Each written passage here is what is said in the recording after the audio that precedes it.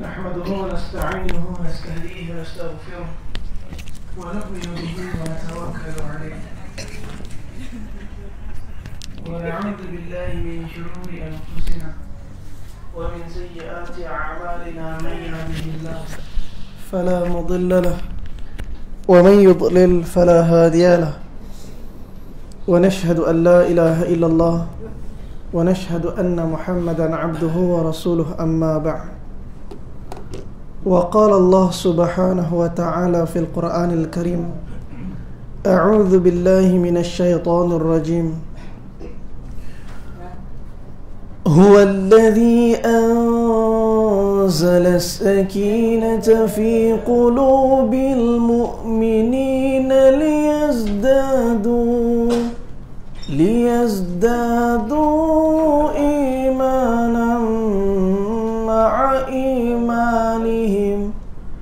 ولله جنود السماوات والأرض وكان الله عليما حكيما.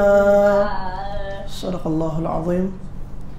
وقال رسول الله صلى الله عليه وسلم إن الدين بدأ غريبا ويرجع غريبا فطوبى للغرباء. الذين يصلحون ما أفسد الناس من بعدي من سنته وقال رسول الله صلى الله عليه وسلم من تمسك بسنتي عند فسد أمته فله أجر شهيد. وقال رسول الله صلى الله عليه وسلم من أحيا سنتي فقد أحبني ومن أحبني كان معي في الجنة أو كما قال رسول الله صلى الله عليه وسلم Alhamdulillah pertama dan selamanya kita panjatkan kesyukuran kepada Allah Subhanahu wa taala kerana kasih sayang limpah kurnia yang sedang Allah Subhanahu wa taala bagi Allah Subhanahu wa taala yang himpun kita di saat dan ketika ini untuk menyempurnakan satu lagi daripada perintah Allah Subhanahu wa taala yang cukup besar tunaikan salat fardu berjamaah dalam keadaan cara yang telah disunnahkan oleh Sayyidina Habibuna Muhammadin sallallahu alaihi wasallam.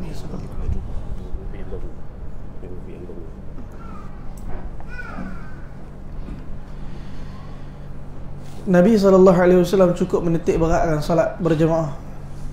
Sehingga kan hampir wafatnya Nabi sallallahu alaihi wasallam Nabi wasallam panggil Sayyidatuna Aisyah Ridha radhiyallahu taala anha isteri baginda Nabi Maka Nabi sallallahu alaihi wasallam beritahu kepada Sayyidatuna Aisyah muru Abu Bakrin falyusalli bin nas. Suruh Abu Bakar Siddiq untuk imamkan seluruh para sahabat untuk salat, tetap salat berjemaah. Dalam keadaan macam tu bukan Nabi sallallahu alaihi wasallam biar. Nabi dipapah oleh Sayyidina Ali, Sayyidina Abbas, Sayyidina Fadl bin Abbas radhiyallahu taala anhumah untuk turut serta Nabi dalam salat berjamaah. Suatu umat ni untung tak ada umat sebelum daripada umat ni yang pernah mengimamkan para nabi.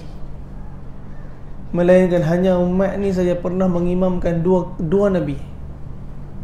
Yang pertama Sayyidina Abu Bakar Siddiq duduk depan jadi imam, Nabi kita sallallahu alaihi wasallam duduk belakang jadi makmum.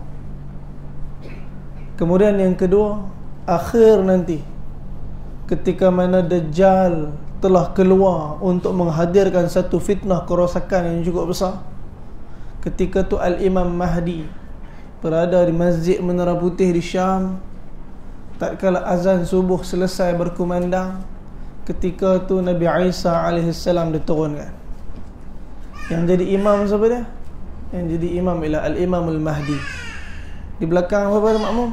Nabi Isa AS Sebab tu umat ni diangkat cukup hebat oleh Allah. Dan sebelum kita baca satu kisah sahabat pada malam ni Allah Ta'ala firman dalam surah Saf Ayat yang kelima. A'udhu billahi minasyaitanir rajim وإذ قال موسى لقومه يا قوم لم تؤذونني وقد تعلمون Dan apabila Nabi Musa AS berkata pada kaum dia Wahai kaumku Kenapakah kalian sakitkan aku sedangkan kalian tahu Bukan senang tuan-tuan buat dakwah Siapa saja buat keputusan untuk ambil jalan dakwah Maka bersiaplah dengan segala halangan Yang Allah subhanahu wa ta'ala dah bagi pada orang dulu. Siapa saja buat keputusan untuk buat dakwah Mungkin orang yang paling dia sayang akan benci dia apa Mungkin kawan yang duk lama berkawan dengan dia akan jadi musuh dia apa Orang yang duk senang dengan dia jadi kurang senang dengan dia apa Sebelum ni pergi pejabat tak pakai kepiah. Azam berkumandang dia pun buat tak peduli Kawan pun buat tak peduli Tiba-tiba hari itu duduk kuliah Duduk macam mana dalam majlis ilmu Sibuk dengan urusan urusan agama Tiba-tiba Allah bagi taufik. Dia mula pergi Dia mula pergi ke pejabat pakai kepiah Dan dia mula belajar menjaga perkataannya Bila dengarnya azan berkumandang ketika tengah bekerja Menggeletar seluruh tubuh badannya Tengok kawan dia kata jom jom jom semayang semayang semayang Ha, masa tu orang kata Alah kata dulu kau sama jangan aku ni tunjuk alim pula ni. Ini munafik ni. Ah mula. Dulu baik ya Kerana dakwah Kerana ajak pada kebaikan.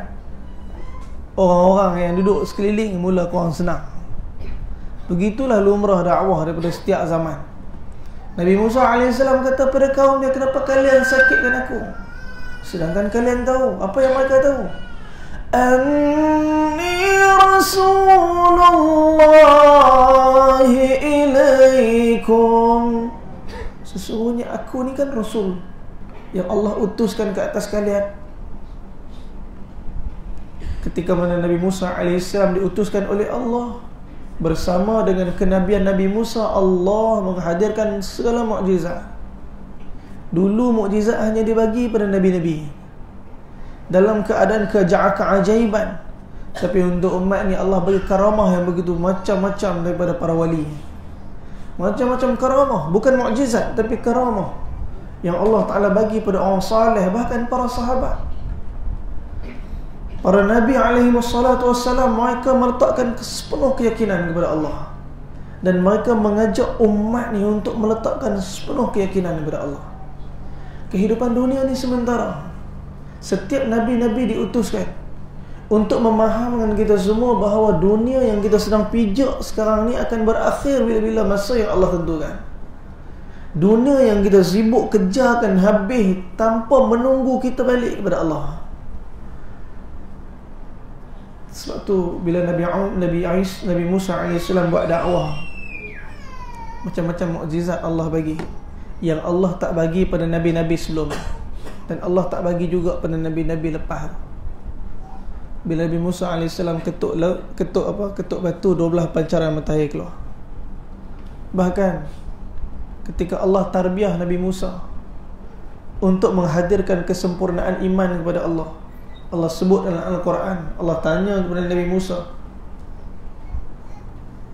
wa ma tilka biyaminik ya Musa? Apa yang ada kat tangan kanan kau Allah tanya soalan bukan Allah Subhanahu Wa Taala tak tahu tapi Allah nak bagi tahu. Allah Maha tahu. Kalau kita belajar dalam bab nahwu saraf dalam bab tafsir tuan-tuan akan tengok perkataan yang Allah Taala lontarkan kepada Nabi Isa wa ma tilka biyaminik. Allah tak guna perkataan wa ma dhalik menunjukkan bahawa Allah mengetahui apa yang ada kat tangan Nabi Musa tu Allah tahu dah wama tilka. Tilka ni makna dia jawapan yang bakal Nabi Musa bagi nanti. Mesti muannas mesti muannas.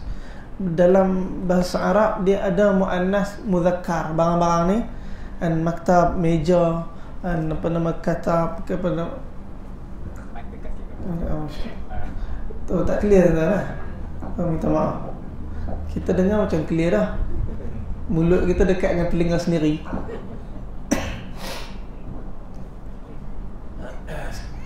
InsyaAllah jelas. Okay, Alhamdulillah. Tuan-tuan jadi Allah Subhanahu Wa Taala kata wa ma tilka. Apa yang apa, apa yang ada di tangan kanan wa ma tilka. Tilka ni makna ni jawapan yang akan bagi nanti muannas. Maka Nabi Musa kata hiya asa ni tongkat Maka Allah tanya wahai Musa, apa kamu guna tongkat ni untuk apa? Maka Nabi Musa cerita segala manfaat kelebihan tongkat ni. Nabi Musa cerita semua manfaat, manfaat, manfaat. Akhirnya Allah kata, Alqah ya Musa, sekarang campur tongkat tu. Bila Nabi Musa AS campur tongkat tu apa jadi? Ular. Ular manfaat ke mudarat? Jarang kita kata ular manfaat. Jarang orang bila ular masuk dalam rumah dia Dia ambil ular tu Dia buat macam kucing. Jarang. Tak buat lah. Kadang-kadang ular masuk besar wayar ni lah Besar wayar ni Habis kan Dengan bapak pegang batang buluh Dengan mak pegang parang. Anak kecil sekalipun pegang garpu plastik. Habis satu keluarga mai cincang kan. Jadi cincau ular. Padahal ular kecil ni lah tapi kita tahu mudarat ular ni. Tapi bagaimana Nabi Musa AS bila campak tongkat tu ular yang Allah Ta'ala hadirkan depan tongkat depan dia depan baginda Musa bukan ular kecil, ular yang cukup besar. Dalam keadaan yang Musa AS kata tadi manfaat sekarang dah tukar jadi mudarat. Allah nak ajar Nabi Musa yang bagi manfaat aku yang bagi mudarat aku. Bukan tongkat bagi manfaat Bukan ular bagi mudarat. Sekarang ni khudha wala takhaf. Tangkap jangan takut. Ketika tu Nabi Musa AS tangkap ular tu Dengan penuh keyakinan dalam perintah Allah pasti ada kejayaan. Bila Nabi Musa tangkap ular tadi Ular tadi tukar jadi Tongkat balik. Ketika tu iman meningkat Masa tu baru Allah firman Izhab ila Fir'aun Pergi pada Fir'aun. Innahu tagha Dia melampau. Sebab tu Bila nak buat dakwah Antara perkara yang kita kena ikhtiar Preparation Ialah preparation iman. Allah siapkan Nabi Musa dengan iman. Bila Nabi Musa alaihi salam dalam keadaan ingin menguatkan iman dia Nabi Musa ni kalam Allah boleh cakap dengan Allah dia pergi ke Tursina tanya Allah tentang rezeki. Apa yang Allah Subhanahu wa taala ajar pada Nabi Musa? Kata al-Imam At-Tabari Imam At-Tabari kata ketika Nabi Musa salam tanya bab rezeki Allah taala perintahkan Nabi Musa dengan tongkat dia tadi ketuk batu. Bila ketuk batu apa jadi kat batu tu? Terbelah. Apa ada dalam batu tu? Batu. Allah kata ketuk lagi diketuk lagi batu. Terbelah batu. Dalam batu tu ada batu Allah firman ketuk lagi batu. Nabi Musa AS ketuk lagi ketiga batu. Terbelah batu tu ada seekor ulat. Dan ulat tu di hujung mulut dia ada daun yang berwarna hijau. Ni orang Melayu duk kata ulat dalam batu boleh makan takkan hang Allah rumah tak boleh. Orang Melayu kan Patah beli ulat dalam batu orang boleh makan. Itu dalil lah. Tuan-tuan Nabi Musa AS bukan hanya tu. Takjub melihat keadaan ni dan Allah perintah wahai Musa ambil ulat.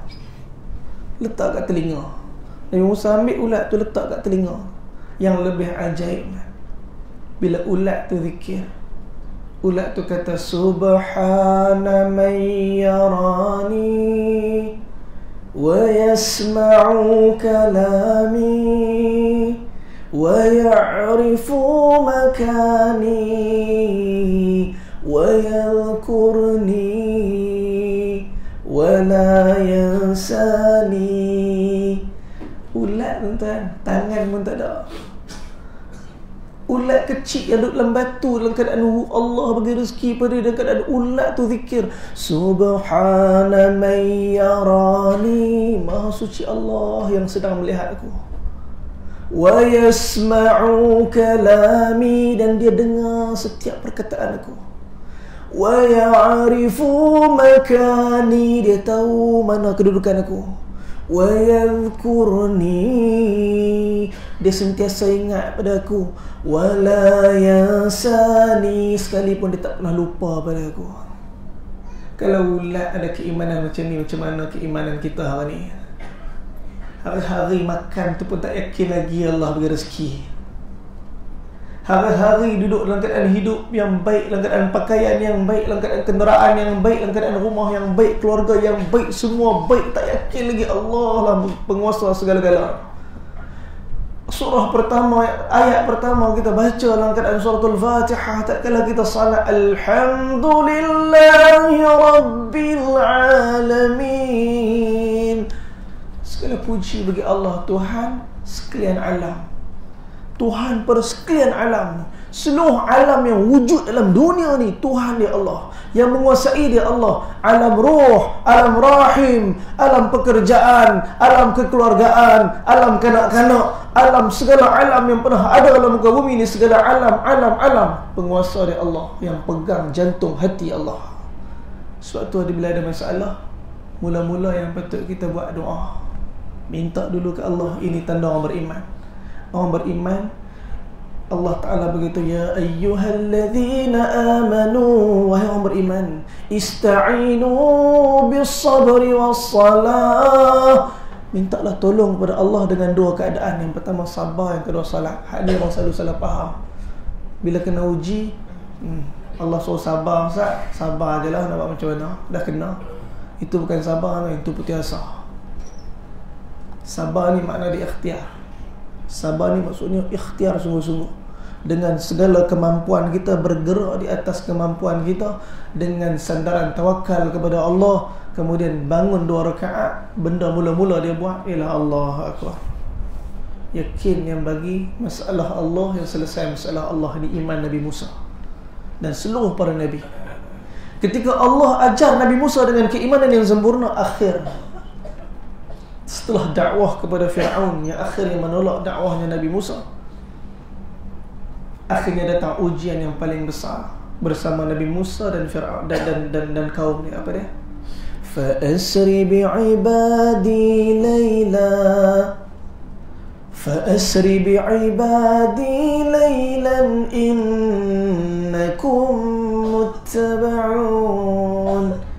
kerana keingkaran Nabi Musa Allah perintahkan wahai Musa sekarang ni bawa hamba-hamba aku pada malam hari keluar keluar keluar. Maksud dia apa? Tinggalkan tempat ni. Kamu akan dikejar. Kamu akan di, dikejar. Nabi Musa bila Allah suruh keluar Nabi Musa tak tanya soalan wahai Allah kenapa nak kena keluar? Kenapa kena itu? Kenapa kena ni? Tuan-tuan kalau kita belajar tentang sifat Nabi Musa. Nabi Musa ialah rasul yang suka tanya. Kerana dia boleh bercakap tu ingat Allah jadi dia suka tanya.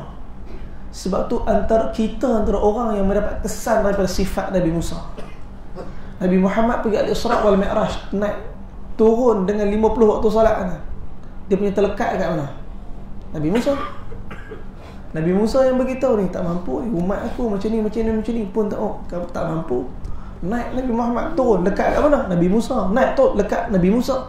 Kerana Nabi Musa Kerana sifat Nabi Musa kita hanya salat lima waktu dan memang sifat Nabi Musa macam tu. Allah subhanahu wa ta'ala bagi pada Nabi Musa tapi bab iman, bab keyakinan Nabi Musa tak tanya sami'na wa ta'na Nabi Musa dengar Nabi Musa tak bila Allah kata bila Allah kata itu, itu. Bila dikejar oleh Fir'aun maka telah diancam oleh dua bahaya. Yang pertama laut merah ke depan tak boleh nak turun Turun lemah belakang Fir'aun. Sekarang ni apa nak buat? Orang yang beriman kepada Allah. Dia bertawakal sepenuhnya pada Allah. Ketika tu Nabi Musa alaihi salam Tunggu perintah Allah Dan Allah turun dengan perintah. Dan perintah ni sangat tak logik dengan apa yang berlaku. Apa perintah Allah? Ketuk laut. Tuan-tuan tak kepelik. Depan laut belakang Fir'aun ketuk laut.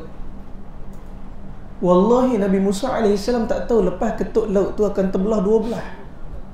Kalau Nabi Musa AS mengetahui apa yang akan jadi natijah dari ketuk laut dia tak tunggu Allah Ta'ala bagi tahu firman untuk buat atuhi ketuk lah.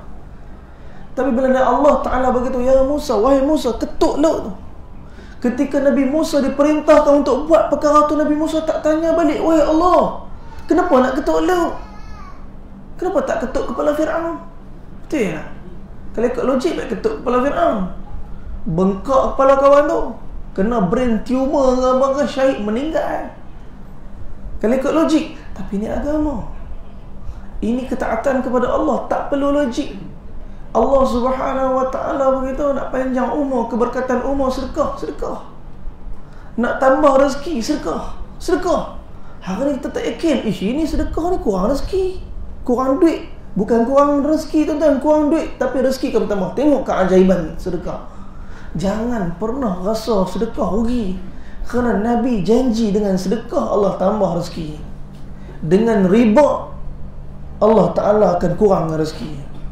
Hari ni riba pula tak nampak. Eh, riba bagi pinjam RM10 minta RM100 banyak untung. Apa yang rugi? Tak Nabi kata rugi.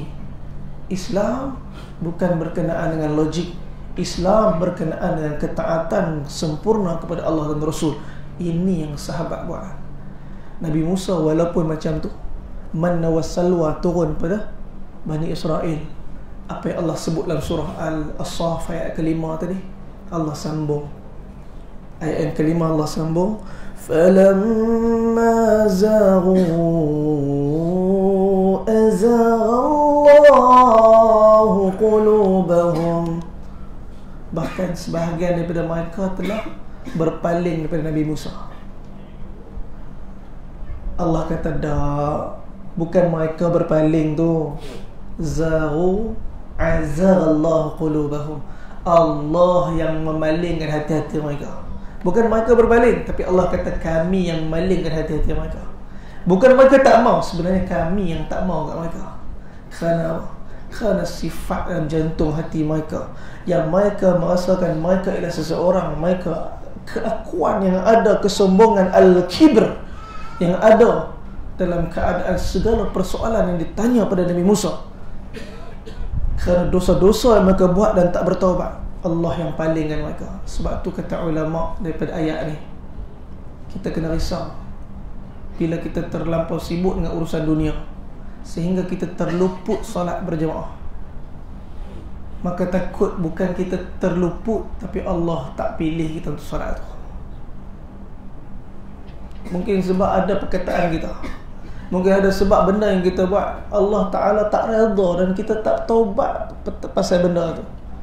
Maka kita terkurang. Hari tiap hari istiqamah dapat baca satu juzuk satu juzuk Al-Quran tiba-tiba hari tu tak dapat baca bukan kata sejuk. Quran langsung tak dapat baca hari tu. Kita pun aduh apa hal pula hari ni tak baca Quran? Tak apalah. Takut-takut bukan kita tak dapat baca untuk Allah tak mahu itu kerana ada hati ada benda yang kita buat yang menyebabkan terrosak hubungan dengan Allah. Sebab tu kata para ulama cepat-cepat istighfar. Jangan pernah kurang. Allah bagi tahu kepada orang beriman dalam surah Allahumma salli ala sayyidina Muhammad.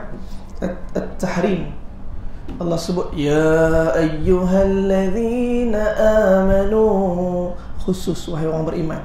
Bukan untuk orang kafir bukan untuk orang munafik bukan untuk orang fasik wahai orang beriman. Tubu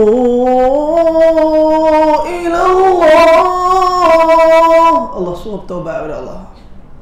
Allah suruh yang beriman taubat kepada Allah tubu ila Allah taubatan nasuha bukan taubat saja, taubat nasuha.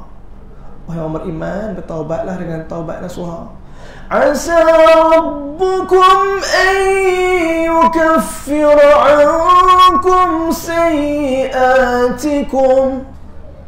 Mudah-mudahan Allah ampunkan kamu dosa-dosa kamu. Sebenarnya kunci bahagia kat situ. Kunci bahagia bukannya nak apa selesai dapat apa yang kita nak. Ramai orang ingat kalau dapat apa yang aku nak aku akan bahagia. Tak dapat redha Allah bahagia. Bahagia ada dalam takwa. Kunci bahagia dalam iman. Bila kita ikhtiar usaha dan iman keyakinan bulat dengan Allah kita lah orang paling bahagia dalam dunia. Bahagia tak tunggu esok orang yang nak bahagia sekarang boleh bahagia. Semua kita malam ni termasuk saya sendiri. Dalam kepala kita ada macam-macam seribu satu masalah. Yang kita duduk dalam majlis ni yang kita duduk datang pada salat mungkin kita tinggal masalah depan pintu. Ada orang yang tinggal depan pintu pun tak mampu dalam semayang pun ada masalah tu lagi. Masa tengah semayang macam-macam masalah tu nak fikir. Anak macam ni, bini macam ni, keluarga macam ni, rumah macam ni, hutang macam ni. Macam-macam masalah dalam kepala.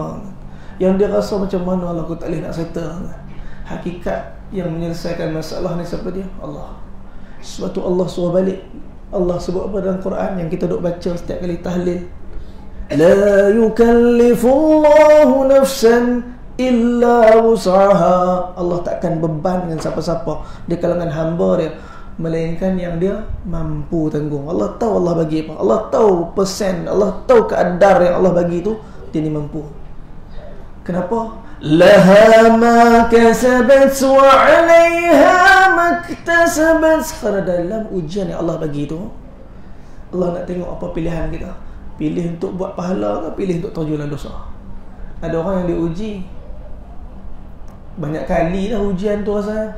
Tapi fail lagi. Allah uji dengan anak-anak hari ni. Esok dengan anak-anak lagi Lusa dengan anak-anak lagi Tulak dengan anak-anak lagi. Mulut tak dapat kawan juga.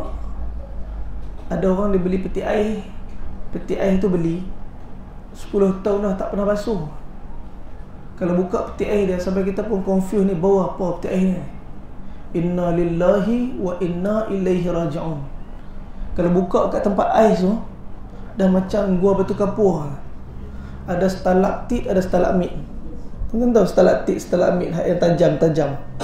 Anak pula seronok buka-buka kepok. Pak, kepok sambil duduk isak tengok TV. Tuan-tuan, macam tu keadaan. Lepas tu dalam peti air dengan darah ikan, darah daging, darah ayam, liquid sotong, semua jenis. Dengan nestem beku. Ni, tak tahu bungkus tu dah ada apa dalam bungkus tu. Ni, tiga tahun lepas punya bungkus. Tak perangat-perangat lagi.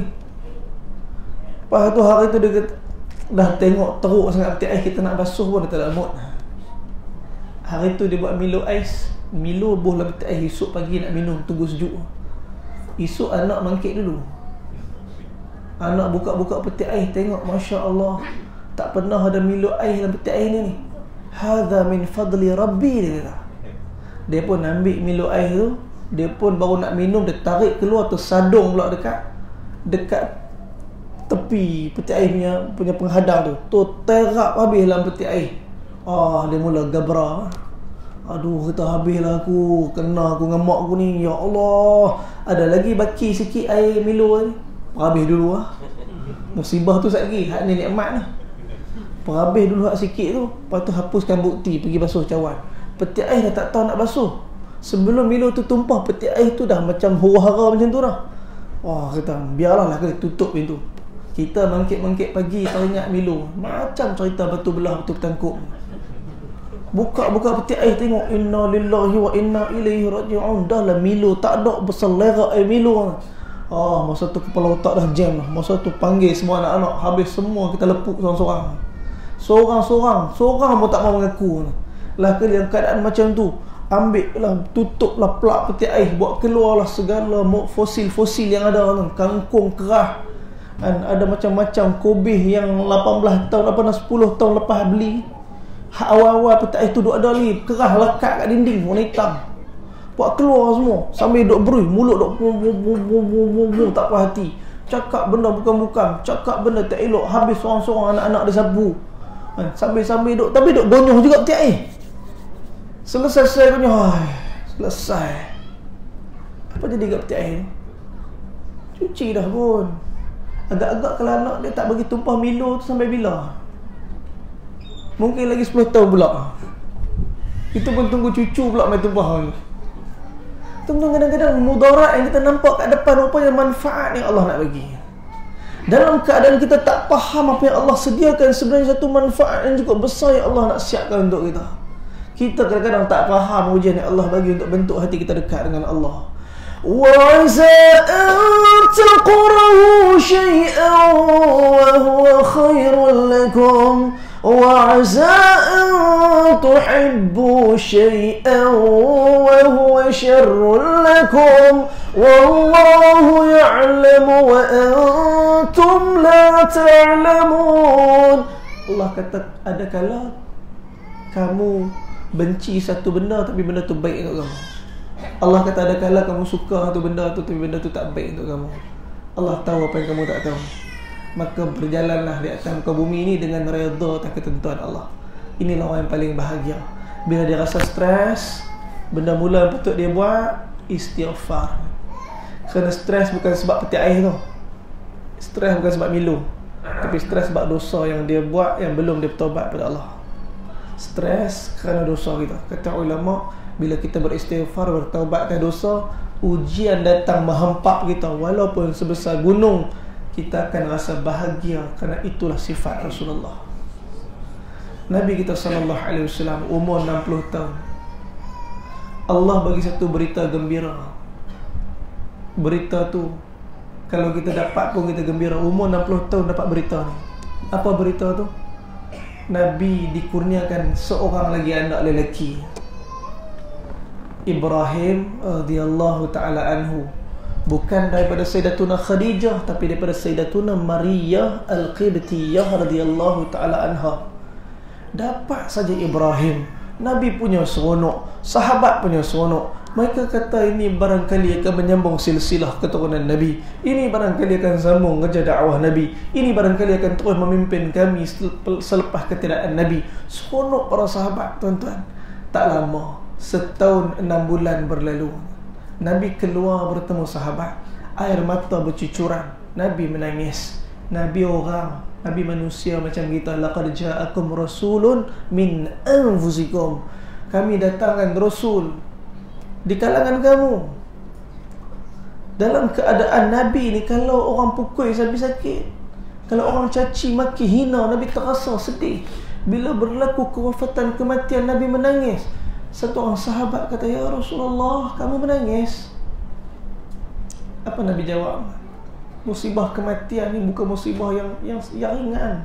Kita semua mungkin tuan-tuan pernah lalu banyak kali benda ni. Kita ada orang kita sayang, seorang-seorang pergi.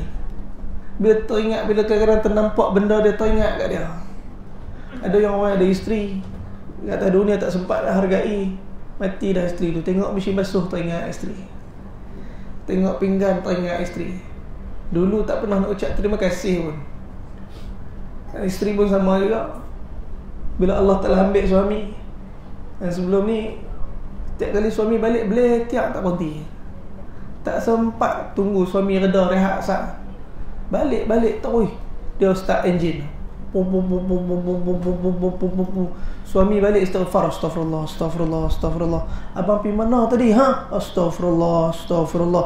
La ilaha illallah. Saya tanya ni, abang ni balik lambat ni. Pasal apa? Astaghfirullah, astaghfirullah. La ilaha illallah. Saya tanya apa? Astaghfirullah, astaghfirullah. Dah astaghfirullah tu. Ha, selesai masalah. Lepas ni balik, kalau isteri tanya macam-macam, jangan jawab sangat. Kadang-kadang istighfar tu lebih menenangkan daripada jawapan yang akan menimbulkan perbahasan. Tuan-tuan. Bila suami tu meninggal Baru teringat Allah Akbar. Tak ada khidmat.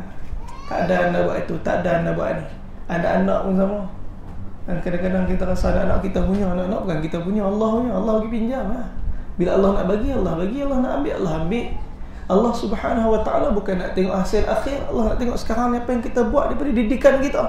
Jangan pernah kata saya dah buat macam-macam anak saya tak ada apa pun. Tak rugi langsung walaupun kita bangunkan dia kita hidupkan agama dalam diri dia tapi akhirnya dia makin jauh dengan Allah subhanahu wa ta'ala kita tak gagal kita berjaya sebab kita dah buat aja. Hidayat Allah punya. Jangan pernah rasa gagal. Abu Talib tak masuk Islam. Hari-hari Nabi dakwah. Bantu agama. Abu Talib dukung Nabi SAW. Nabi gagal kan? Nabi tak gagal. Nabi Nuh AS. Lailam wa nahara. Siang dan malam. 950 tahun. Illa firara. Termasuk isteri dia sendiri. Nabi Nuh gagal kan? Tak gagal. Nabi Lut alaihi salam buat dakwah dalam keadaan umat yang cukup songsang di zaman itu. Akhirnya Allah Subhanahu wa taala buat kehancuran, terbalikkan umat Nabi Lut bersama dengan umat ni. Siapa dia? Isteri dia sendiri. Tak ikut, gagal ke? Tak gagal. Buat kerja kita, jangan buat kerja Allah. Redha dengan ujian yang Allah bagi, kita lah orang paling bahagia dalam dunia. Apa Nabi kata bila bila Sayyidina Ibrahim anak Nabi meninggal? Sahabat tegur ya Rasulullah nangis. Nabi kata inna ainun tadma wa qalbi yahzan wa la naqulu illa ma yardi rabbina mata ni boleh menangis kata Nabi hati ni boleh sedih kata Nabi tapi wallahi mulut ni sekali-kali tak akan mengeluarkan perkataan melainkan yang meredakan Tuhan. Orang Allah bila Allah uji dia akan jaga lidah dia. Dia tak akan keluarkan perkataan yang menyebabkan dia makin jauh daripada Allah. Suatu inilah kehidupan para sahabat. Saya nak tutup dengan satu kisah. Sampai pukul apa ni Ustaz? Ikut saya. Ya Allah Bahaya ikut saya ni. Mejoh dia tak desat Tuan-tuan saya tak pasal tutup dengan satu kisah lah. Kisah satu satu orang sahabat Nabi. Semoga kisah ini menjadi iktibar untuk kita. Macam mana keyakinan? Tadi saya cerita pada mula tadi Itu hakikat dakwahnya para Nabi Dan kesannya dakwah Rasulullah Ialah kepada para sahabat. Setiap para Nabi ada pendukung dia. Setiap para Nabi ada pembantu agama dia. Termasuklah Nabi kita Sallallahu Alaihi Wasallam Nabi Musa AS bila buat dakwah Bani Israel sebahagian tolak sebahagian terima Allah kata wallahu la yahdil qauman fasiqin. Allah tak bagi hidayah pada orang yang fasik. Allah tolak. Yang yang tak mau Allah tinggalkan dia. Allah sikit pun tak rugi atas kefasikan manusia. Tapi manusia rugi di atas perbuatan dia. Allah sambung ayat nombor 6 surah Saf Wa idh qala Isa ibn Maryam. Dan apabila Nabi Isa ibnu Maryam dia kata kepada kaumnya ya bani Israel wahai bani Israel inni rasulullah ilaikum aku ni rasulullah yang diutuskan kata kamu. Musaddiqan lima baina yadayya minat tawrah Aku ni diutuskan oleh Allah membenarkan Membenarkan apa yang dibawa oleh Nabi terdahulu sebelum aku daripada kitab Taurat. Bukan bawa agama baru Bukan bawa benda yang baru Bukan benda lain, benda sama. Daripada kitab Taurat Aku cuma pembenar. Melalui kitab Injil yang datang lepas pada tu. Kitab Injil sikit pun tak menyalahi Taurat Hakikat dia tuan-tuan Agama ni makin mudah, makin mudah, makin mudah. Kehidupan manusia Allah mempermudahkan syariat dia Sampai kita lah umat yang paling mudah sekali. Yang kita rasa agama ni berat Wallahi kita ni pemegang agama yang paling mudah sekali. Bani Israel zaman Nabi Musa AS kalau najis kena tak boleh cuci Kena potong. Kalau hari Sabtu kerja Allah ubah jadi kardun Jadi apa? Jadi kerah. Kalau dia buat dosa nak bertaubat apa dia? Bunuh diri. Tuan-tuan kalau syariat tu pada kita hari ni macam mana? Hak kita rasa hak kita ada ni berat ni. Allah nak kena puasa Ramadan. Allah nak kena bayar zakat. Allah nak kena eh berat nak kena tutup aurat. Dah dah dah umat dulu lagi berat agama yang Allah Ta'ala letak di belakang-belakang bau mereka. Kita ni yang paling ringan ni. Nabi Musa 50 waktu solat umat dia kita lima waktu Allah ganjar pahala macam mereka. Adik bongsu ni yang paling manja sekali kita. Itu pun Nabi Musa kata apa? Nabi Musa kata ya Rabbi ij'alni min ummatuk min ummatuk. Ya Allah jadikan aku di kalangan umat dia sampai Nabi sallallahu alaihi wasallam. Nabi Musa nak jadi macam kita. Tuan-tuan Nabi Isa salam aku datang dengan membawa dengan membenarkan kitab yang terdahulu Taurat وَمُبَشِّرًا بِرَسُولٍ Dan aku datang bawa satu khabar gembira tentang seorang Rasul Ya'ti min ba'di Yang akan datang lepas pada aku Ismuhu Ahmad Nama dia Ahmad Nabi Musa, Nabi Isa memperkenalkan Nabi kita dekat kaum dia Tuan-tuan bayangkan kalau umat Nabi Isa kenal Nabi kita Hari ni berapa jauh kita kenal Nabi kita sallallahu alaihi wasallam.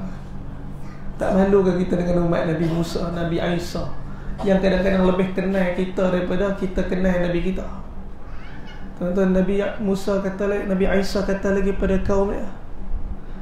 Dia bukan datang saja saja. Falamma ja'ahum bil bayinat. Dibawa keterangan-keterangan, dia datang dengan mukjizat juga. وقالوا هذا سحر مبين tapi mereka yang akan hidup zaman tu mereka kata ni semua sihir sihir yang nyata ومن أظلم ممن افترى على الله الكذب siapa kata Allah yang lebih zalim daripada orang-orang yang mendustakan Allah Subhanahu wa taala وهو يدعى إلى الإسلام sedangkan dia diajak kepada Islam dia diajak kepada keselamatan negeri akhirat dan dunia tuan-tuan hakikatnya walaupun ramai menolak Nabi mula dakwah seorang-seorang tapi akhirnya Nabi wafat ada 124 ribu para sahabat depan Nabi Setengah ulama kata 114 ribu Bahkan setengah ulama kata 144 ribu Malam ni saya nak tutup dengan satu kisah Seorang lah Daripada 124 ribu sahabat Malam ni saya nak sebut satu nama lah Semoga kita ambil iktibar Kita ambil manfaat daripada sahabat ni. Siapa dia dia? Dialah Sayyidina Sa'ad As-Salami Al-Aswad radhiyallahu ta'ala anhu. Tuan-tuan boleh balik buka kitab Tambihul Ghafilin Yang ditulis, disusun oleh Al-Imam Abu Laits Al-Samarkhan Pada bab yang akhir Hikayatus Sahabah ada satu kisah yang diriwayatkan oleh Sayyidina Anas ibn al-Malik radhiyallahu taala anhu. Satu orang sahabat Sayyidina Sa'ad As-Salami Al-Aswad. Sa'ad daripada Bani Sulaim yang mana hitam wajah dia. Tak handsome rupa dia. Mai jumpa Nabi, duduk depan Nabi, berkerut wajah dia, lutut jumpa lutut Nabi. Ya Rasulullah, ayam na'uni suwadi wa damamat wajhi min dukhulil jannah? Apakah aku akan masuk apakah aku akan terhalang daripada masuk syurga kerana muka aku tak handsome badan aku hitam? Tuan-tuan bayangkan takwanya para sahabat tak handsome takut tak masuk syurga. Masalah hari ni kita perasa handsome belakang. Maaf saya sendiri yang cakap. Buat sikit amalan Lepas tu rasa ahli syurga. Masya Allah banyak cantik kita Sahabat dulu dalam keadaan mereka hitam tak insaf takut tak masuk syurga. Kan Nabi kata apa? Wallazi nafsi biadih demi yang jiwaku dalam genggaman Allah. Selagi mana kamu beriman kepada Allah. Selagi mana kamu mengikut sunnah jalan yang ditunjukkan oleh aku. Selagi itu kamu akan masuk syurga. Ah lega sahabat ni kan kerutan dari dia bertukar menjadi senyuman. Baru mangkit nak tinggalkan Nabi sallallahu alaihi wasallam tiba-tiba satu lagi masalah datang dalam kepala dia dia pusing balik kat Nabi. Dia kata tapi ya Rasulullah Aku duduk di kota Madinah ni 8 bulan 9 bulan dah. Aku masuk meminang rumah ni Rumah tu rumah ni. Tapi Semua orang tolak pinangan aku. Tuan-tuan tak handsome. Tak handsome satu. Miskin pula. Package Kita kalau tak handsome Kaya boleh Boleh pertimbang lagi lah. Kadang-kadang handsome Papa kedana pun kita jam juga Hmm, tapi zaman sekarang memang macam tu. Orang tengok bab duit ni yang antara benda yang paling utama. Kadang-kadang ada seorang kawan saya sedih lah. Kawan saya, saya Allah tak tahu lah kami nak buat macam mana. Dia main tu saya minta tolong ni macam mana? Saya pergi masuk saya Minau orang ni, minau orang ni. Soalan pertama dia tanya kerja apa? Bila saya beritahu saya kerja apa Toy Rijal Dia kata saya tak ada lah kerja hebat-hebat. Sahabat saya ni punya warak kan Dia punya warak Dulu dia kata dia kerja dengan kerja yang teruk-teruk. Dulu dia jauh daripada Allah. Dia hijrah. Dia mula bersama dalam kerja dakwah. Dia duduk di jalan Allah. Beriktikaf dengan orang-orang yang buat dakwah. Lepas tu dia mula berubah. Dia mula baca Quran. Dia mula jaga zikir. Tapi kerja dia biasa-biasa ya. Hari tu saya sure dekat satu orang kawan saya. Businessman. Apa nama. Dia ada kedai baju. Saya kata ni ambil dia aja. Kawan saya tu pun kata okey lah ambil aja. Jadi jaga kaunter jadi apa? Cashier. Dia pun duduk dalam tempat cashier. Tak ada customer buka Quran baca. Baca Quran baca Quran. Tak berhenti baca Quran. Customer datang dia terus baca Quran. Akhirnya kawan saya pun telefon saya kata ui warak sangat ni. Pening kepala. Customer datang pun dia baca Quran ni. Dia tak layan customer dia layan Quran. Oh lah kali jam kan? Kawan saya pun kata tak boleh ni bang kalau dia pergi solat Dia akan pergi solat. Lama dia nak balik-balik ke tempat tempat tempat duduk cashier dia. Sebab apa? Nak habiskan zikir. Nak habiskan Quran dia. Dia punya warak sampai macam tu. Nah, akhirnya kawan saya sendiri kata tak boleh lah, tak boleh lah. Berat aku ni, aku berniaga ni. Lah kali dah tak kerja dah dengan kawan saya tu.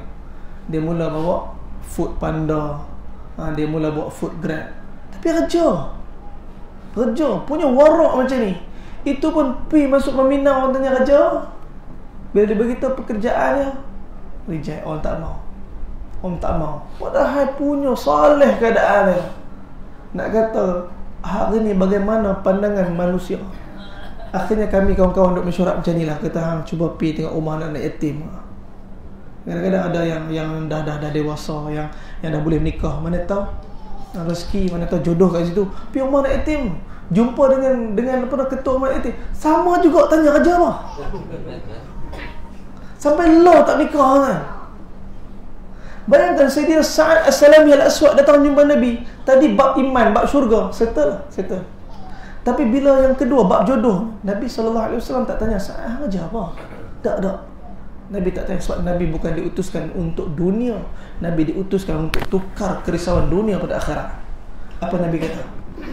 Nabi tak kata apa melainkan Nabi tengok semua sahabat yang ada dalam majlis. Nabi tanya, Ainal Amru ibn Wahab? Amru bin Wahab mana? Kata Sayyid, kata para sahabat, Ya Rasulullah, Amru tak ada dalam majlis.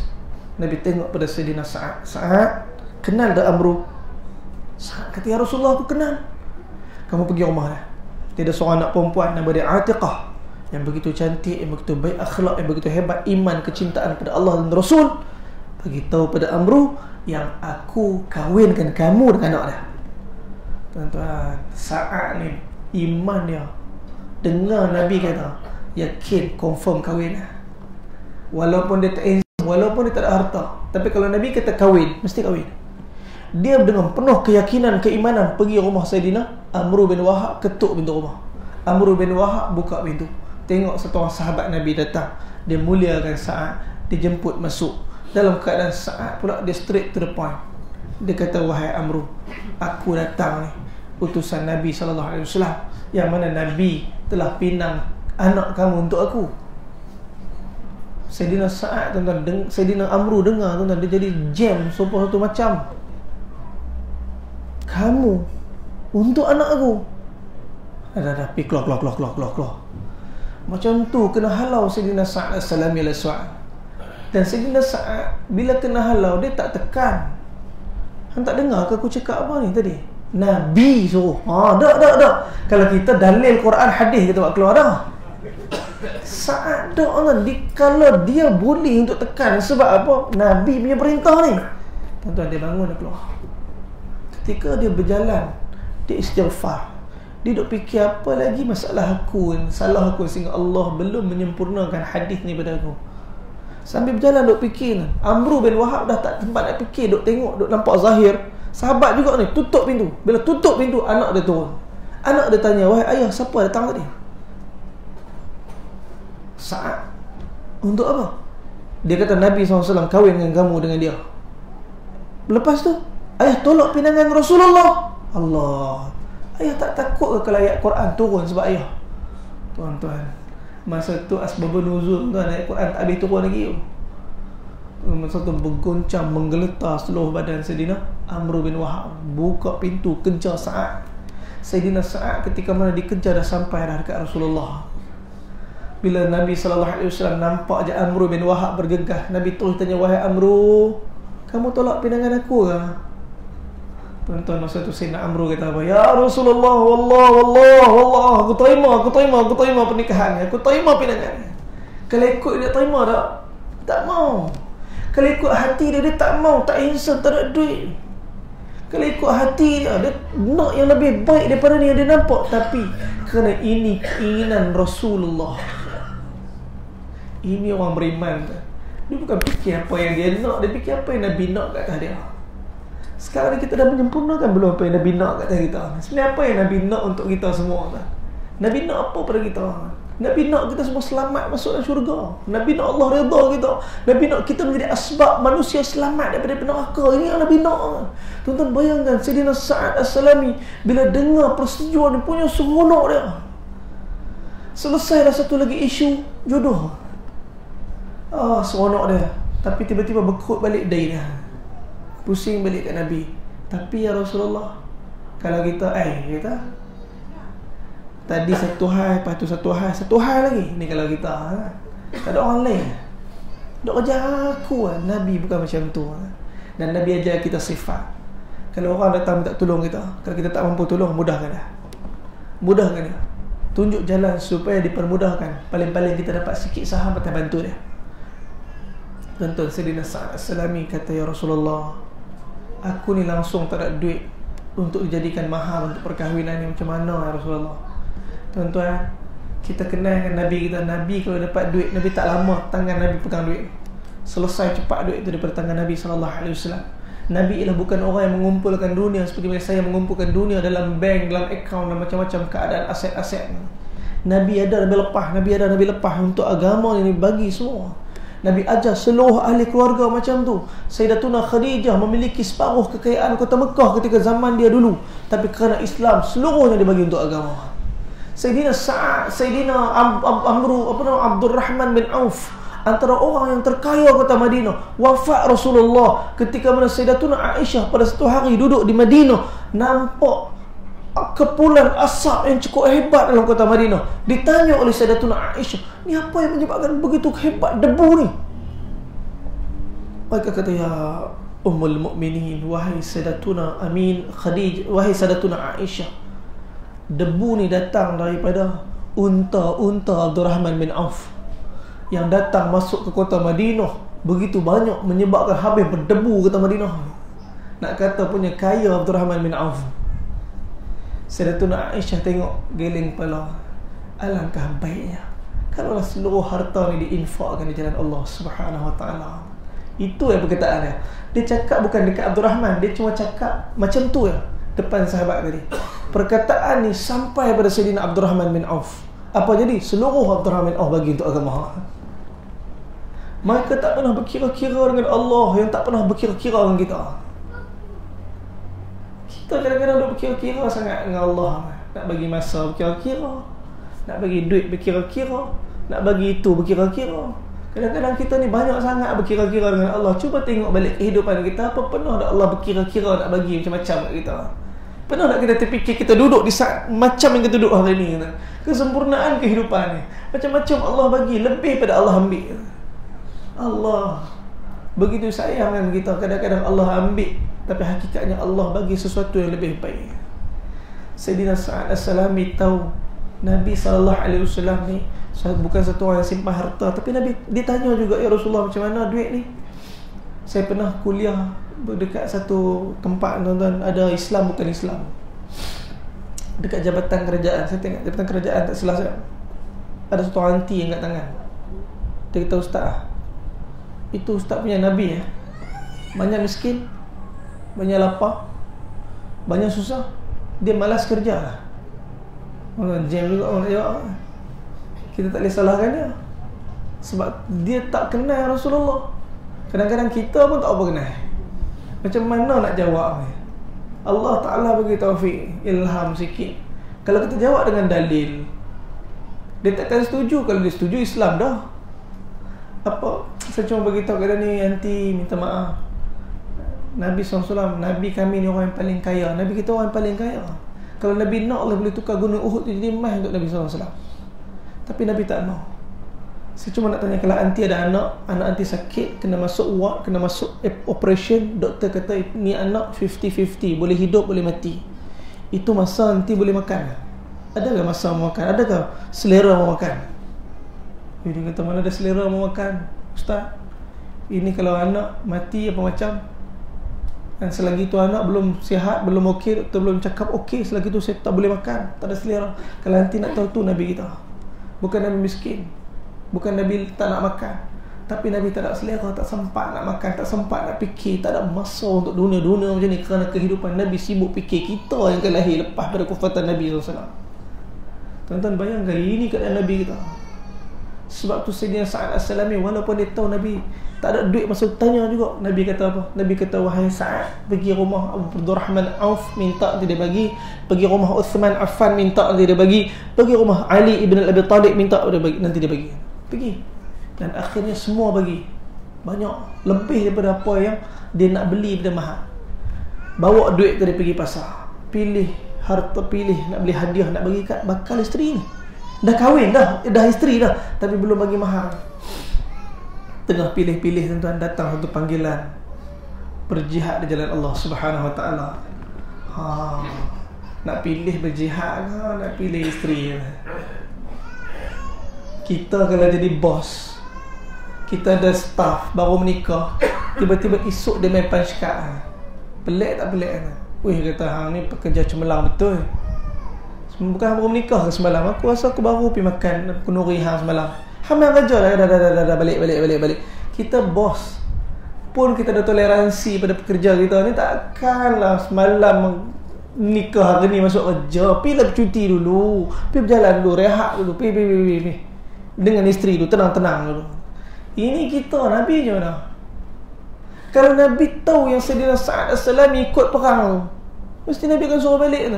Sa'ad As-Salam kenal Nabi ketika tu dia, dia tengok duit dia dia, dia dia kata ya Allah sekarang ni apa lagi? Yang patut aku buat untuk redakan kau? Daripada duit nak beli mahal tu dia tukar beli peralatan perang. Dia beli pakaian perang yang menutupi seluruh badannya sehingga kan tak nampak apa-apa pada badannya dia masuk dalam perbarisan tentera Islam. Tak ada siapa kenal dia. Nabi tak kenal dia. Satu orang tanya Sayyidina Ali wahai Ali siapa tu? Tak pernah tengok. Kata Sayyidina Ali biar biar biar Mungkin tu satu orang daripada Basrah Ataupun satu orang daripada Kufah Datang nak bantu menegakkan agama ni Biarkan dia. Dia punya sayang kat Rasulullah kan dalam peperangan tu dia berkeliling Nabi dia perang sekitar Nabi. Dia takut ada orang cederakan Nabi SAW sehingga satu tombak telah kena pada rusuk dia. Dia jatuh di depan Nabi SAW ni terselok lengan. Terselok lengan nampak hitam Nabi sallallahu alaihi wasallam bila nampak hitam tu lengan tadi Nabi tu berhenti perang. Nabi kata Sa'ad kamu ke ni? Tuan masa tu saya Sa'ad tak boleh lari lah dia pusing kat Rasulullah dia kata ya Rasulullah ni Sa'ad ni ni Sa'ad ni. Ketika tu Nabi kata wahai Sa'ad dah tak ada apa-apa untuk kamu hari ni melainkan syurga. Dah tak ada apa-apa untuk kamu hari ni melainkan syurga Ketika tu Sayyidina Sa'ad tak buat apa. Dia dengar perkataan sabda dia Dia terus pusing. Dia masuk terjun dalam keadaan musuh. Akhirnya satu pedang telah menembusi badannya Gugur syahid pengantin baru ni tuan Selesai daripada peperangan Nabi tengok jenazah Sayyidina Sa'ad Mengalir mata Nabi. Nabi kata Ma athyabari hak Wa ahabbaka ila Allah wa rasuluh Wanginya kamu hai saat pada hari ini Kenapa wangi? Pengantin baru kan wangi? Sepatutnya malam ni malam pertama dia dengan isteri. Tapi malam ni malam pertama dia di jalan Allah Subhanahu Wa Taala. Malam yang sepatutnya belum dia melunaskan kehendak keinginan fitrah satu orang manusia. Tetapi malam tu dia menunaikan kehendak Allah Subhanahu Wa Taala.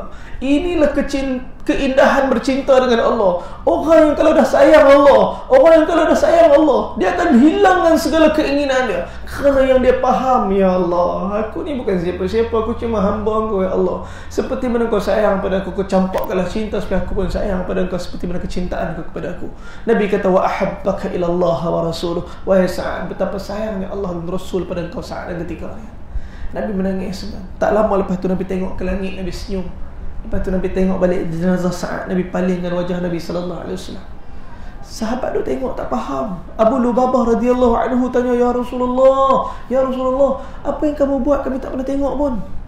Nabi kata aku melihat jenazah Sa'ad aku rindu sangat menyebabkan aku menangis. Kemudian aku tengok rohnya diangkat sehingga ke ke haud di, di, dilayan oleh para malaikat. Sahabat tanya, wahai Rasulullah, haud tu apa? Kata Nabi, itulah telaga aku. Satu orang minum seteguk air daripadanya. Akan hilang dahaga sampai bila-bila. Aku melihat Sayyidina Sa'ad dilayan di sana. Aku senyum kerana aku seronok sangat. Bila aku tengok balik pada jenazah Sayyidina Sa'ad, aku palingkan wajah aku kata Sayyidina Sa'ad. Kenapa? Aku melihat bidadari syurga mengomri jenazah Salah satu daripada bidadari tadi terselak betih. Aku palingkan wajah aku kata Nabi kerana tu bukan milik aku tu milik Sa'ad radhiyallahu taala anhu. Nabi kata wahai para sahabat, himpun seluruh harta Sa'ad. Pergi ke rumah Amr bin Wahab, bagi tahu pada Amr bin Wahab, ambil semua harta ni kerana Allah telah bayar mas kawin Sa'ad dengan bidadari syurga yang lebih baik dan cantik pada anak kamu. Inilah kehidupan akhirat yang dijanjikan oleh Allah dan Rasul. Apa lagi yang kita nak dari dunia ni? Berapa ramai orang yang sanggup mengorbankan dunia dia, mengorbankan akhirat dia untuk dunia membeli dunia dan menjual akhirat untuk keselesaan sementara dan dia mengorbankan segala kesenangan abadan abada. Inilah maksud kita dihantar ke muka bumi ini untuk pegang tangan ahli keluarga kita, untuk pegang tangan jiran-jiran kita. Lepas ni kalau nampak orang pakai baju tak tutup aurat tuan, jangan tengok tu tunduk pandangan menangis. Kesian kat dia. Sehelai rambut yang dia tunjukkan tu akan jadi detik hitam ke akhirat nanti. Allah firman dalam Al-Quran Innal ladzina kafaru bi ayatina Sesungguhnya orang-orang yang kufur terhadap ayat-ayat kami. Sawfa nuslihim nara. Maka akan dicampak masuklah api neraka Kullama nadijat juluduhum Baddalnahum juludan ghairaha Allah akan bakar kulit mereka Sehingga terbakar hangus kulit mereka. Diganti kulit yang lain. Allah akan bakar lagi sampai hangus. Diganti lagi kulit yang lain. Liyadhuqul azab. Untuk dirasakan kepada mereka ni lah azab yang dulu atas dunia yang kamu duk, tak peduli sangat mungkin kita tak nampak hari ni. Kalau bukan kita saya dan tuan-tuan semua nak selamatkan umat ni siapa lagi kalau kita tak mau main bola ramai orang nak main bola kalau kita tak mau menyanyi ramai orang nak menyanyi. Kalau kita tak mau jadi pelakon ramai orang nak jadi pelakon. Tapi kalau kita tak mau buat dakwah siapa lagi nak buat kerja dakwah kita umat da'i. Setiap daripada kita bertanggungjawab atas agama ni. Agama ni kerja kita. Kalau handphone saya jatuh ni saya bawa handphone tadi handphone saya jatuh pecah retak saya kata ya Allah handphone saya dah retak ni Allah handphone aku retak dah tuan-tuan bila handphone kita retak kita kata handphone aku dah retak tapi hari ni agama tengah retak lah. Siapa nak kata agama aku tengah retak ni Aku kena buat sesuatu ni Anak-anak muda tak solat Aku kena jumpa dan pegang tangan-tangan mereka anak-anak perempuan, anak-anak lelaki ada mezina, check in hotel malam-malam saat kita nyenyak tidur. Kalau bukan kita bangun tahajud menangis untuk mereka siapa lagi? Inilah maksud para nabi dihantar. Nabi-nabi tuan-tuan setiap para nabi bila dah meninggal wafat selesai dah mereka. Tapi Nabi Muhammad kita sallallahu alaihi wasallam tak selesai sampai ke akhirat. Sampai ke akhirat kesibukan nabi bertambah. Orang pertama yang akan dibangkitkan nanti di mahsyar ialah Rasulullah. Ainal mahsyar? Sahabat tanya Rasulullah Ainal mahsyar? Nabi kata mahsyar Ialah bumi yang dikatakan. Kalla Iza dukkatil ardu dakka Dakka. Ni dunia yang kita pijak sekarang ni Tuan-tuan kita sedang lupa Kita tengah pijak tengah mahsyar Kita mati nanti Ditanam dalam kubur. Allah Ta'ala akan ratakan dunia ni. Allah akan tumbuhkan kita macam benih-benih. Ketika tu Allah akan masuk semua roh Dekat mana? Dalam sangka kala Israfil. Ketika Israfil akan tiup sangkakala yang kedua roh akan berterbangan macam lebah-lebah mencari jasad-jasad mereka. Yang pertama akan bangun siapa dia? Rasulullah sallallahu alaihi wasallam. Ketika tu nabi tengok bendera-bendera kemenangan nabi akan tanya kepada sayyidina jibril wahai jibril hari apa kan ni? Sayyidina jibril kata ya Rasulullah hari ni hari kemenangan. Hari ni hari kemenangan dah. Bukan tu maksud aku Wahai Rasulullah, tidakkah kau melihat bendera-bendera kemenangan di depanmu? Ya, ya Jibril, bukan itu maksudku. Ainal ummati, umatku mana? Benda pertama Nabi bangun daripada kubur, umatku mana? Siapa umat tu? Anak-anak kita. Siapa umat tu? Kita. Siapa umat tu? Yang terlalai, terleka daripada negeri akhirat ni Nabi cukup risau. Sayyidatuna Aisyah kata apa? Nabi tidur, jantung Nabi bergoncang seperti mana cerit, cerit yang mendidih. Kalau cerai pun dia Nabi tidur ke tak? Nabi tak tidur Nabi tak pernah tidur Nabi nak tidur tak boleh teringat kita semua. Pernah satu ketika Nabi SAW selesai salat malam Sayyidatuna Aisyah datang. Sayyidatuna Aisyah tanya ya, Begitu ya Rasulullah Doakan aku ya Rasulullah. Nabi angkat tangan Allahumma ufir lil Aisyah Ma taqaddara min dhanbiha wa ma ta'akhar Ya Allah Ampunkan dosa Aisyah sebelum selepas. Sayyidatuna Aisyah dengar doa tu Dia bangun Dia seronok sangat Dia ketawa Dia melompat Nabi tanya, wahai Aisyah, kamu seronok ke? Suka ke dengan doa yang aku bacakan? Kata Sayyidatuna Aisyah, Ya Rasulullah, siapa-siapa pun, kalau dengar doa ni dibacakan khusus untuk mereka, pasti mereka suka. Ya Aisyah, hadhihi da'wati lil ummati fi kulli salah. Inilah doa yang aku duk baca untuk umat aku setiap kali lepas salat. Kita kadang-kadang lupa nak minta ampun untuk diri kita. Nabi tak pernah lupa kita. Dan para sahabat sambung kerja tu. Para sahabat sambung kerisauan tu. Hari ini kita duduk dalam setiap pengajian Kita duduk dalam kuliah-kuliah Kita hidup dalam rumah kita dengan kecintaan agama Kecintaan pada Nabi dan para sahabat. Jangan pernah Kita rasa dunia ni selesai dah Bila kita dapat apa yang kita nak. Wallah selagi tak mati Selagi itu tak selesai. Selagi tak masuk dalam syurga bersama Rasulullah Selagi itu tak selesai. Semoga kita dipilih oleh Allah menjadi orang akhirat. Nabi SAW ialah orang diuji dengan kematian. Saya nak tutup dengan satu hadis Tadi tuan-tuan minta maaf saya daripada Sungai Buloh hari ni daripada pagi tadi kami ada daurah kitab Safinatun Nikah.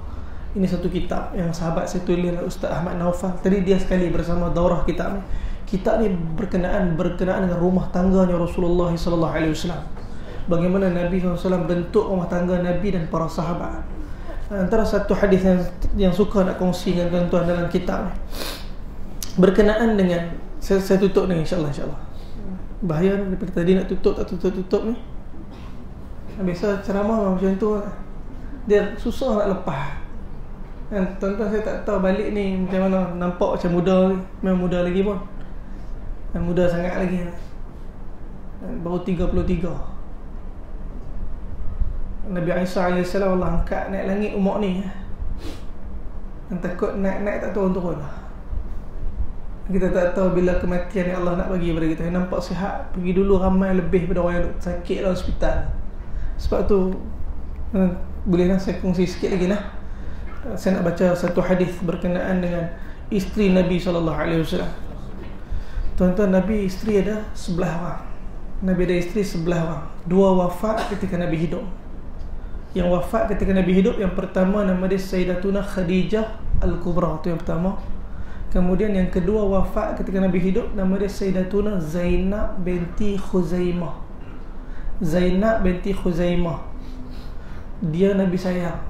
Zainab meninggal muda Umur Zainab 30 tahun Zainab dah meninggal Isteri Nabi yang digelar sebagai Ummul Masakin Inilah Sayyidatuna Zainab binti Khuzaimah radhiyallahu taala anha dan sembilan orang isteri Nabi yang lain melihat kewafatan Nabi sallallahu alaihi wasallam. Sembilan uh, isteri Nabi sebelah orang, lapan orang ditanam di Jannatul Baqah tiga ditanam selain daripada Jannatul Baqi. Sayyidatuna Aisyah, Sayyidatuna Khadijah ditanam dekat Jannatul Ma'la Makkah. Sayyidatuna Maria Al-Qibtiyah ditanam dekat Awali Madinah. Dan Sayyidatuna Maimunah binti Harith ditanam dekat Nawariyah. Perjalanan nak masuk ke kota Mekah.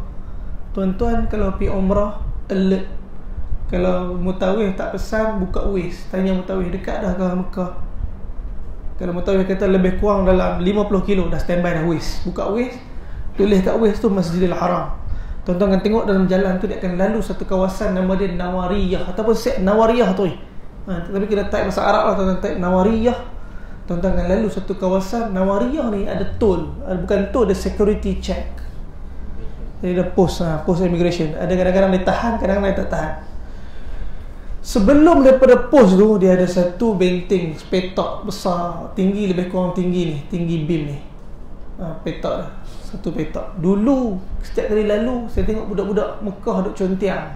Duk conting dinding tu Dia conting apa? Allahu Akbar Dengan spray unita Tapi hari tu saya pergi yang terbaru Mereka dah cat cantik elok lah Sebelum ni saya pernah bagi tahu dekat driver bas banyak kali lah saya bagi tahu. Setiap driver bas saya akan bagi tahu nanti sampai Nawariyah sampai kubur dekat saya Sayyidatuna Maimunah bagi tahu lah.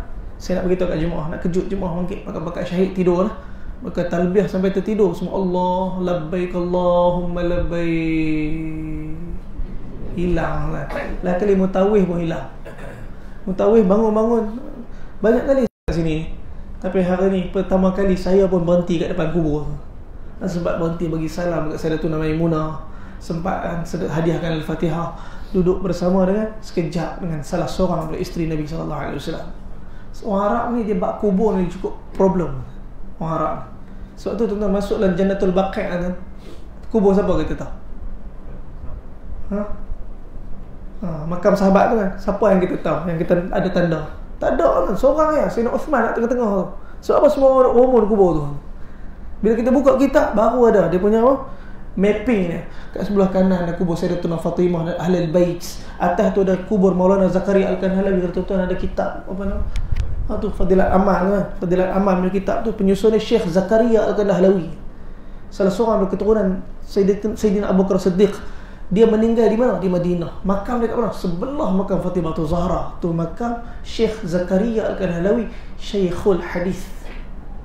Tuan-tuan, bila kita masuk Bila kita tahu Baru sonok ziarah Kita tahu ni kubur siapa Kita tahu nak bagi salam pada siapa Tuan-tuan isteri Nabi Sembilan Lapan orang dalam Jannatul Baqir Saya cuma nak cerita daripada seluruh isteri Nabi. Nabi SAW walaupun telah kehilangan Khadijatul Kubra ketika mana awal dakwah di kota Mekah sebelum berhijrah. Tapi Nabi sallallahu alaihi wasallam tak pernah lupa kepada Sayyidatuna Khadijah sehingga menimbulkan kecemburuan kepada ramai isteri-isteri Nabi yang lain. Terutamanya yang banyak meriwayatkan hadis kepada dia Sayyidatuna Aisyah. Sayyidatuna Aisyah sampai kan disebut dalam satu hadis dalam kitab ni dia kata qalat ما غرت على أحد من نساء النبي صلى الله عليه وسلم كما غرت على aku tak pernah cemburu kata Aisyah pada mana-mana isteri Nabi seperti mana kecemburuan aku kepada Khadijah. Wa ma raaituha. aku tak pernah tengok dia pun. Kita kalau cemburu ke orang kita cemburu orang yang kita yang hidup ke orang cemburu orang yang mati? Pelik kalau cemburu orang yang mati betul orang tu dah mati cemburu pelik. Biasanya kita cemburu kat orang yang hidup, dia mati lega. Ada orang tu yang memang kita cemburu betul kat dia. Tiba-tiba dia meninggal, dapat berita kat kita. Orang lain semua macam inna lillahi wa inna ilaihi rajiun. Dapat kat dia, alhamdulillah. Eh, macam alhamdulillah tadi. Kawan tu pun heran macam alhamdulillah. Eh, silap betul inna lillahi wa inna ilaihi rajiun. Dia punya geram dah lama, cemburu. Sayyidatuna Aisyah tak pernah tengok Sayyidatuna Khadijatul Kubra. Tapi dia kata aku cukup cemburu dengan Sayyidatuna Khadijah. Kalau Nabi sembelih binatang, Nabi akan agih-agihkan daging ke rumah sahabat-sahabat Khadijah. Sehingga kata Sayyidatuna Aisyah, aku pernah tanya, Ya Rasulullah, apa tak ada perempuan lain ke dalam dunia ni? Kerana selalu sangat ada sebut pasal Khadijah, Khadijah, Khadijah. Maka bila Sayyidatuna Aisyah cakap macam tu, apa kata Rasulullah? Nabi kita SAW cuma kata, innaha kanat huwa hiya kanat wa kanat Khadijah ni macam ni macam ni macam ni. Salat dia macam ni puasa dia macam ni infak dia macam ni. Wa kana li minha wuldun dan daripada dia Allah bagi anak pada aku. Walaupun Sayyidatuna Aisyah cemburu Nabi tak peduli. Nabi cerita juga pasal Khadijah. Sebab apa kecintaan Nabi begitu hebat kerana pengorbanan dakwahnya Sayyidatuna Khadijah. Di saat orang semua tolak Nabi Khadijah terima Nabi. Di saat semua orang tak mau Nabi Khadijah salam tenang alaihi salam tenang Nabi. Syekh Ali Al-Jumu'ah tegur kami bila sebut Rasulullah bila sebut Sayyidatuna Khadijah antara panggilan yang paling layak ialah alaiha salam. Khadijah alaiha salam. Sebab apa? Kerana masa hidup Allah hantar Jibril untuk bagi salam Allah pada Khadijah. Allah hantar salam pada Khadijah kita mana tak tahulah macam mana akhirat kita nanti. Sayyidatuna Khadijah wafat. Satu hari Fatimah tu Zahra anak pada Khadijah dengan Rasulullah duduk bergurau dengan Sayyidatuna Aisyah. Aisyah dengan Fatimah ni sebaya. Bersimbang, bersimbang, bersimbang Tiba-tiba Sayyidatuna Aisyah kata Wahai Fatimah Wahai Fatimah Semua isteri-isteri Nabi Yang kahwin dengan Nabi Semua janda. Aku seorang yang nak darah Oh tuan Kasar gurauan tu. Sayyidatuna Fatimah dengar saja. Terus berlari kepada Rasulullah. Sampai kepada Rasulullah Apa kata Sayyidatuna Fatimah Ya Rasulullah Ya ayah macam mana dengan ibu aku? Aisyah kata macam ni Macam ni macam ni. Senyum Nabi kata. Nabi kalau tengok anak dia, isteri dia ada masalah apa? Nabi tak terus sapu macam kita. Kita kadang-kadang dengar cerita tak habis lagi. Sapu dulu dah Lepas tu baru istighfar. Nabi bukan macam tu. Nabi dengar sampai habis dan Nabi senyum. Nabi kata apa pada Sayyidatuna Fatimah? Nabi kata wahai Fatimah betul. Apa yang Aisyah cakap tu betul. Semua isteri-isteri aku Yang kahwin dengan aku Semua janda Dia seorang yang nak darah Tapi beritahu kat dia. Yang kahwin dengan aku Isteri-isteri aku Yang rasa aku teruna Khadijah seorang. Yang lain semua dah tak teruna lah. Tuan-tuan bayangkan Fatimah tu Zahra dengar jawapan ni punya seronok berlari jumpa dengan Aisyah begitu ya Aisyah ya Aisyah. Nabi jawab macam ni macam ni macam ni. Aisyah dengar jawapan tu senyum dia. Dia kata wallahi jawapan yang cerdik macam ni mesti daripada Nabi sallallahu alaihi wasallam. Khadijah seorang ya kahwin dengan Nabi masa teruna yang lain semua dah tak teruna lah Rasulullah Tuan-tuan ni kecerdikan Nabi kita sallallahu alaihi wasallam. Nabi tak pernah boleh lupa Khadijah. Dalam apa situasi pun, last Khadijah mesti menang. Sebab tu Tuan-tuan, saya nak ajak lah kalau pergi umrah Jangan pernah lupa ziarah makam Khadijah Bukan jauh pun Keluar ikut pintu Safa Marwah tu Belok belah kiri Menghala ke bangunan tabung haji belah belakang tu Lalu ke masjid Sajarah Lalu ke masjid Jin Lebih kurang daripada pintu belakang tu Dalam 700 meter 700 meter bukan jauh Mekah tu. Kat Malaysia mungkin lah 700 meter 200 meter nak kereta. Masjid mana Surah mana tu Lepas tu start enjin kereta Masuk dalam surah Sebenarnya nak balik tu Tak kereta ribet lah. Eh, Sampai Tuan-tuan Saya nyari kelemahan Rumah saya macam tu Dengan surah belakang lah Nak kereta. Anak saya duk ajak jalan kaki tu. Anak saya kecil-kecil. Jom jalan kaki Kita nak fikir Kita jalan kaki. Lengkong. Padahal rumah dekat lah Macam tu. Tapi tak ada jalan kat sini lah. Kena lengkong gitu. Pergi surau. Naik kereta. Tuan-tuan Kita duduk ceramah pun naik kereta. Anak ajak jalan kaki. Kadang-kadang saya tinggal dia. Satu saya tinggal anak saya seorang. Mai sampai jalan kaki dia. Seronok aja jalan kaki. Tuan-tuan Setakat 700 meter tu jalan kaki lah. Jannatul Ma'la Perempuan tak boleh masuk Tapi boleh berdiri depan Nampak grill warna hitam Dalam tu dah. Makam Sayyidatullah Khadijah. Pergi sana angkat tangan. Doa. Nak doa apa? Kata Ya Allah Seperti mana engkau telah bagi kebaikan pada wanita ni Bagilah kebaikan pada isteri kami Mak-mak kami, anak-anak perempuan kami.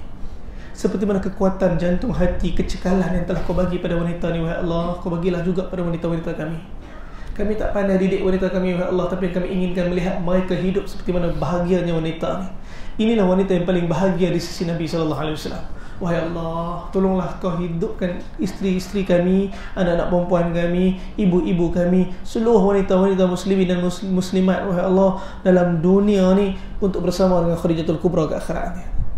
Tengok makam tu lama-lama. Cakap dengan Khadijah. Nabi bila fatul Mekah, Nabi masuk tahun ke-8 Hijrah, Nabi SAW siap dengan sahabat, Nabi beritahu kat sahabat, boleh tak aku nak bersendirian sekejap? Sahabat biarkan Nabi. Tuan-tuan Nabi pergi mana? Nabi pergi makam Khadijah. Nabi pergi makam Sayyidatuna Khadijah. Nabi berdiri depan makam Khadijah. Apa Nabi kata? Nabi kata, wahai Sayyidatuna Khadijah, wahai isteriku sayang. Hari ini Islam dah menang, tapi kau tak ada dengan kami. Hari ini Islam telah menang, tapi kau tak ada dengan kami, wahai Khadijah. Tuan-tuan Nabi bercakap dengan Khadijah. Sebab tu kita pergi kan, sembang dengan Khadijah. Kita maju pada Malaysia. Duduk depan makam Khadijah bagi tahu wahai ibunda kami Sayyidatuna Khadijah. Kami datang pada Malaysia jauh. Atas makna rindu dan cinta kami kepadamu. Kerana kecintaan kami kepada Rasulullah. Kami datang nak beritahu terima kasih kerana dulu jaga Nabi untuk kami. Terima kasih kerana dulu ambil berat pada Nabi kami. Kalaulah kami ada masa tu kami pun tak tahu kami boleh jaga Nabi macam kau jaga Nabi ke tak tapi kau telah jaga Nabi dengan penjagaan yang cukup baik yang kami takkan mampu jaga macam kau jaga wahai Khadijah. Terima kasih. Kerana harta, darah, nyawa yang kau telah bagi untuk agama ni kami kenal Allah. Kami sampai sini. Anak-anak kami ni semua kenal Allah sampai sini wahai Khadijah. Terima kasih banyak kerana perjuangan yang kau telah buat. Hari kami dapat manfaat. Tuan-tuan bawa anak-anak kita perkenalkan anak kita siapa dia Khadijah supaya rindu cinta tu datang pada keluarga kita. Semoga Allah Taala terima kita insyaallah. Tuan-tuan semoga sedikit daripada perkongsian pada malam dia sebab kebaikan untuk saya sendiri bercakap dan tuan-tuan perempuan yang mendengar insyaallah. Yang baik daripada Allah Subhanahu wa taala yang tak baik pun daripada Allah. Kelemahan saya dosa saya saya minta ampun daripada Allah. Saya minta maaf pada tuan-tuan perempuan sekalian.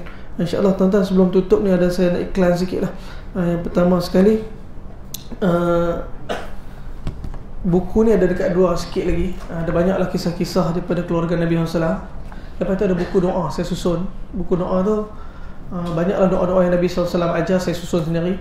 Dan tuan-tuan buku tu buku kecil eh. senang nak bawa buku tu uh, doa-doa yang ulama kita ajar letak periuk apa doa nak baca kan letak kan masak nasi.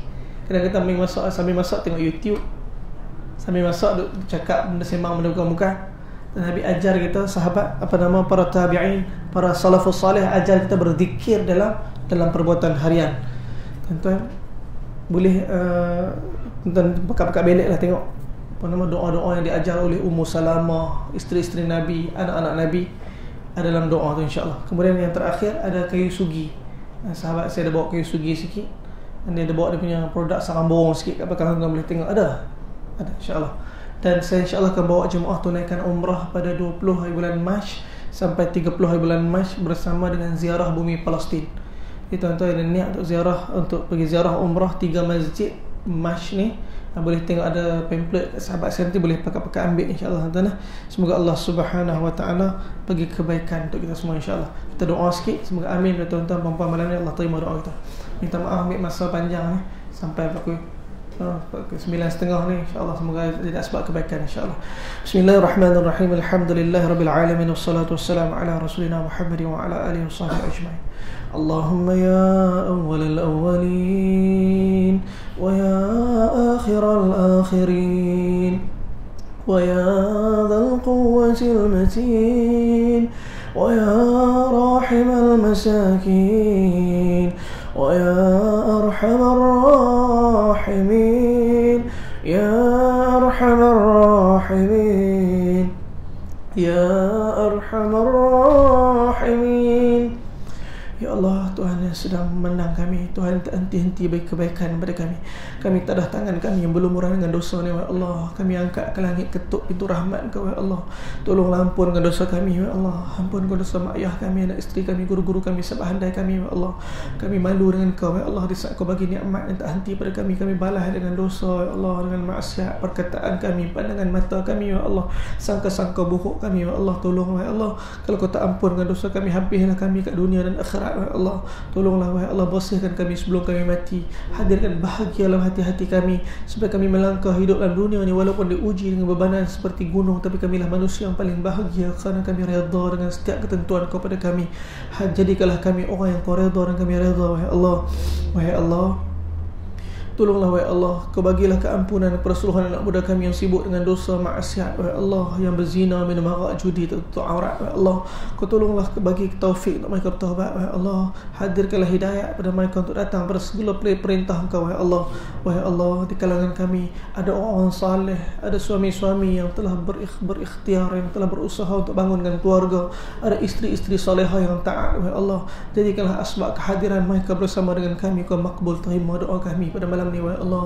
Wahai Allah banyak kami nak minta kami tak pandai wahai Allah. Apa yang Nabi sallallahu alaihi wasallam minta kebaikan untuk umat ni kami minta wahai Allah. Hidayah disebarkan seluruh alam. Itu yang kami nak apa yang Nabi SAW minta jauh daripada umat ni? Pergaduhan pecahan tu kami minta wahai Allah. Wabak penyakit itu yang kami minta jauh wahai Allah. Wahai Allah di kalangan kami ada diuji masalah masalah kesihatan wahai Allah. Kau sembuhkanlah. Mak ayah kami anak isteri kami keluarga kami yang sakit wahai Allah. Kau sembuhkanlah. Di kalangan kami ada diuji masalah rumah tangga kau selesaikanlah masalah rumah tangga kami kami ya Allah. Jangan kerana masalah rumah tangga yang kami sedang hadapi hari ini Yang menyebabkan agama kami makin mundur Akhirat kami masalah nanti ya Allah. Wahai Allah di kalangan kami ada diuji masalah hutang Allah saya lah. Ada diuji masalah rezeki ke lapang lah Allahumma razukna juhdan Nabi sallallahu alaihi wasallam Allahumma razukna syahadatan fi sabilik Allahumma ya Rabba Muhammad unsurna umat Muhammad Rabbana atina fid dunya Allah Rabbana atina fid dunya hasanah fil akhirati hasanah wa qina adhaban nar sallallahu alaihi wasallam Muhammad wa ala alihi wa sahbihi wa barak alhamdulillah rabbil alamin sabbalallahu minna minkum